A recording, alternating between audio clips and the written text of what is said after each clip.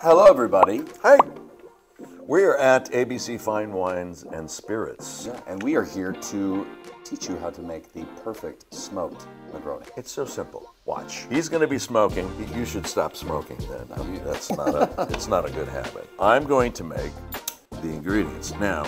The great thing about a Negroni mm-hmm. is that it's only three ingredients, and they're equal parts. Easy peasy. Dos Hombres Mezcal, Yeah. One ounce of DH. sweet ounce vermouth, and Campari. Look at that, gorgeous. And for a party, you can just dump this into a big punch bowl and then ladle it into a. It's so good. so good. It's easy. so good. There you go. Look at that. Okay, now let's let's just mix So it. Why don't we do that?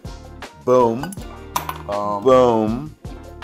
Oh yeah. and that's it. There you go. The And then, Negroni. you know, to make it garnish. there you go. Uh, salute, everybody. The Dos Hombres Mezcal Negroni. Enjoy.